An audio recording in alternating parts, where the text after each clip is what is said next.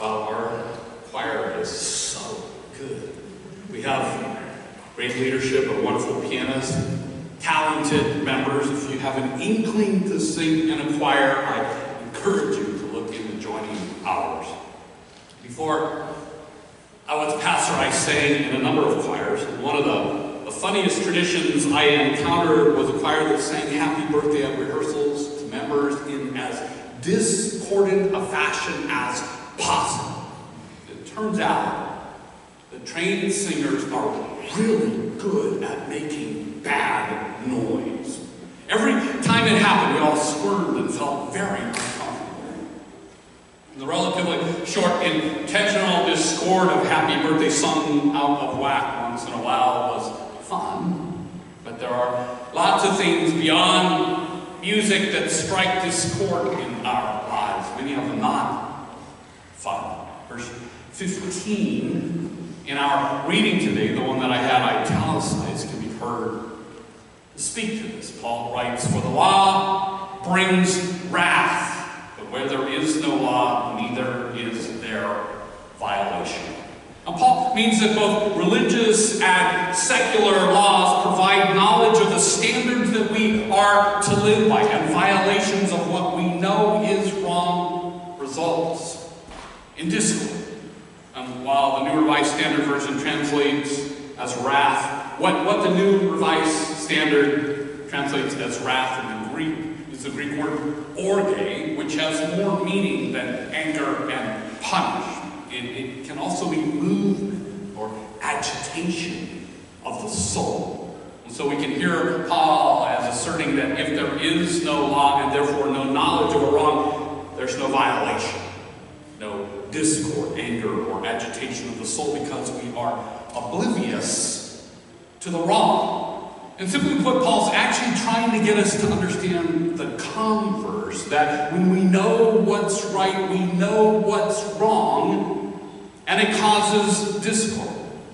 Theologians John Dominic Crossan and Marcus Borg wrote a great book called First Paul, and in it they ask these questions of verse 15. Does Paul mean that murder, for example, only arises from because of or in reaction to the law against it? Does he mean the law provokes sin, command provokes disobedience? And the author's answer is not at all. It is simply that law establishes knowledge, asserts that we now know this or that is wrong, this or that should not be done. And Crossan and Borg then point out if, for example, people declare that all have equal and inalienable rights, they already know that this situation should prevail. They had admitted that they know this, and unless thereafter they follow through, their very own law condemns them. You see, Paul is right. The laws we have, secular and religious, provide information, but knowledge doesn't cause us to obey them. Paul's ultimate point in today's lesson is that faith is what gives us the ability to be transformed and obey, to act right. Faithfulness is the path to righteousness. And law may inform us of the wrong, but does not make us act right. Faith does. As a more specific example, Crossan and Borg then go on to point to Paul's letter to Philemon and ask, Will Philemon liberate his slave Onesimus freely and willingly from the heart, motivated by his committed faith? Or will he liberate Onesimus because he feels forced to do so simply to appease Paul or even to obey Christian law? Will he act by faith or by works of Christian law? I found these quotes that you just heard a blessing because every year, as I mentioned, I try to preach, bring up songs and readings for Black History and I stumbled on Borg and Crossan discussing equality, inalienable rights, and slavery with respect to our lectionary text. Today, everyone in this room knows slavery is wrong. Our faith, God's law, our nation's laws, and our hearts tell us that instantly. Indeed, as Crossan and Borg noted, even the heart of our nation's initial founding document declares that inequality is wrong and that unequal access to what we now call civil rights is wrong.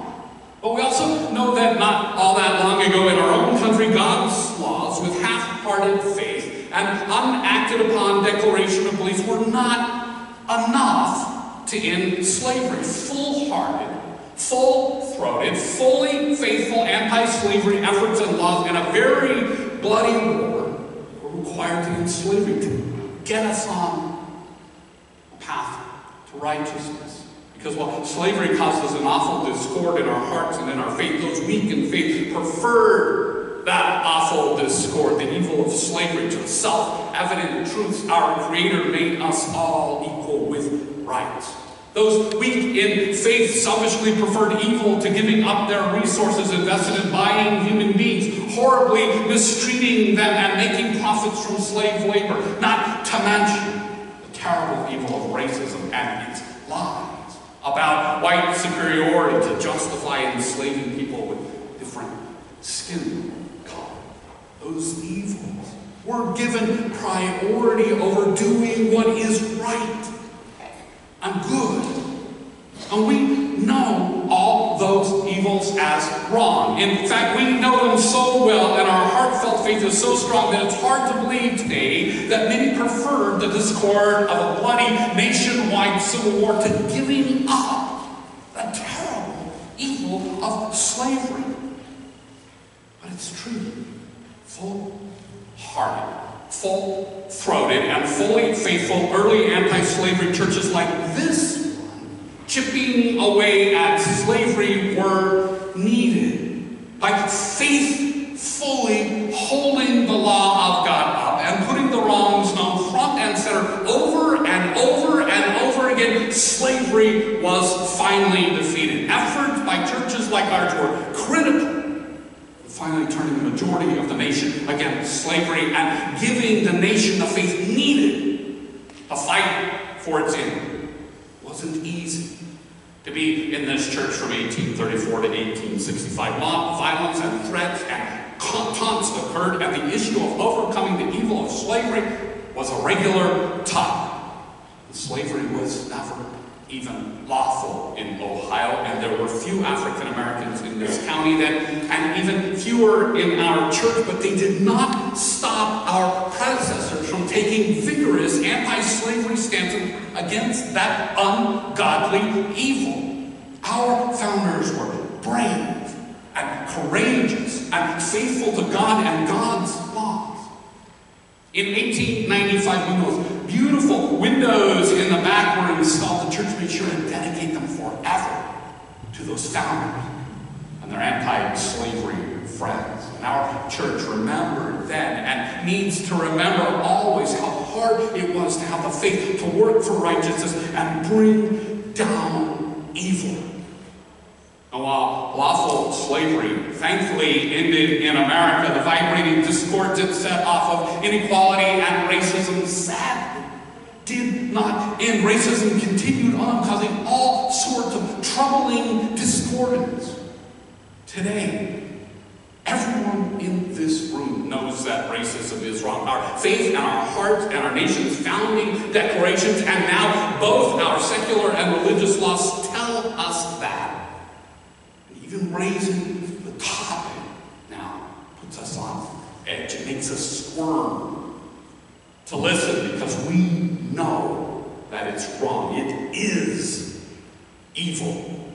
And our faith calls us to act. And we cannot stop squirming until racism ends. Our faith must lead to action in our words and deeds if that evil is to end.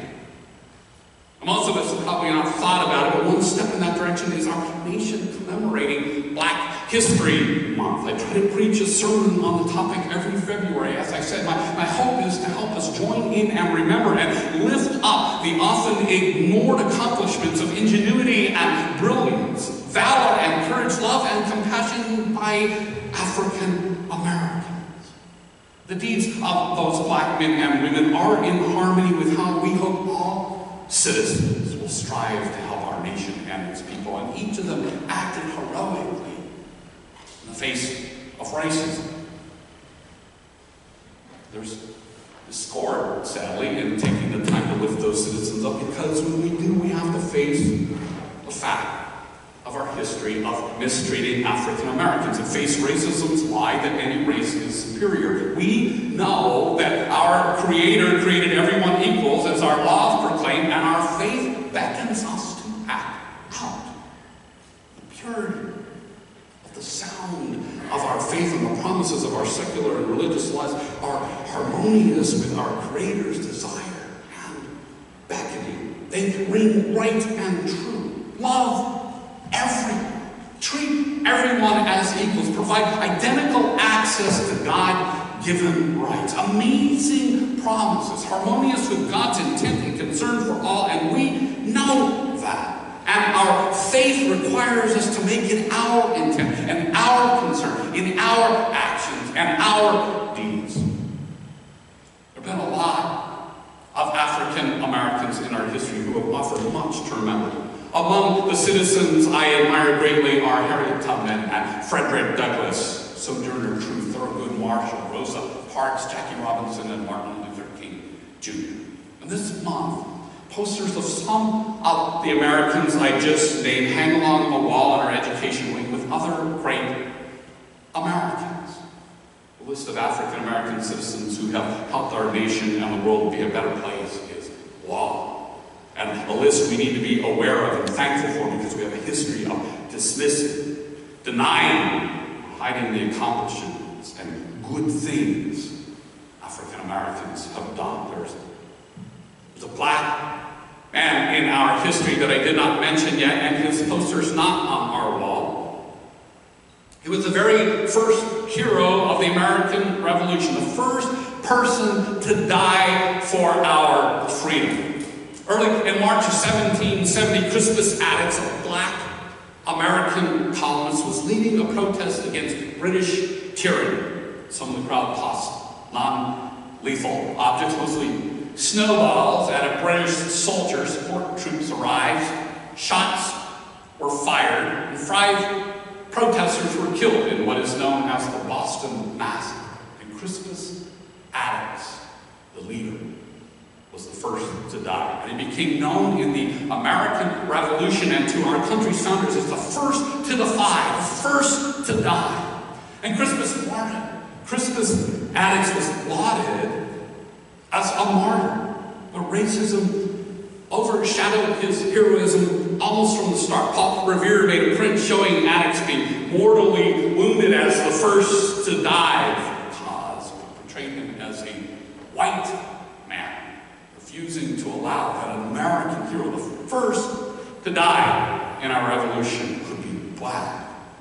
And when the soldiers who fired on Attucks and their protesters were tried in court, a lawyer representing them, John Adams, assumed to be revolutionary hero himself, mounted a defense that included the racist argument that Attucks and other protesters were a motley rabble of saucy boys, Negroes and mulattoes, Irish thieves and outlandish jack before Revere and Adams became revolutionary heroes, Crispus Attucks was the first. And most of us don't know his name, let alone know that he was a black American. 18th century racism tried to tarnish him and refused to allow black men to be a hero with a legendary act and a martyr death for all. And sadly, the same sort of tarnishing, whitewashing, denials, and racist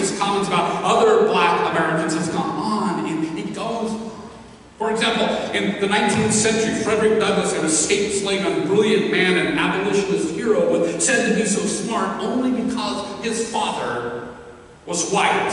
And in the 20th century, people tried to tarnish civil rights hero Dr. Martin Luther King Jr. by claiming he was a rabble rouser, trying to take him along the lines of John Adams' racist comments about Crispus Attucks. We still see this kind of thing going on the 21st century. For example, some still deny President Barack Obama's Native American, native citizenship as an American when he was born to a citizen, not to mention born in America. And we can disagree about politics, but it's it fair to deny an African American citizen their full history. Black History Month tries to leap over the hurdles of denials by taking the time to honor African Americans who have accomplished things for this country. It's important because when we commemorate Black History Month, we join in and we remember and we lift up often ignored deeds of ingenuity and brilliance, valor and love and compassion by our nation's African American citizens who overcame hurdles of racism.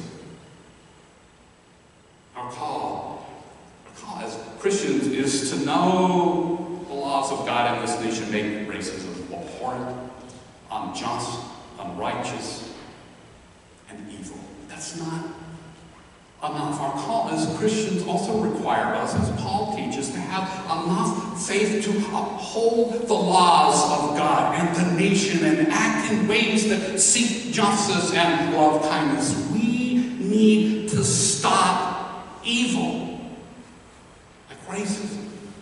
We're called to take action to make a community and a nation and a world where all are treated as equal beings that God made us. May we learn from Paul the answer to that.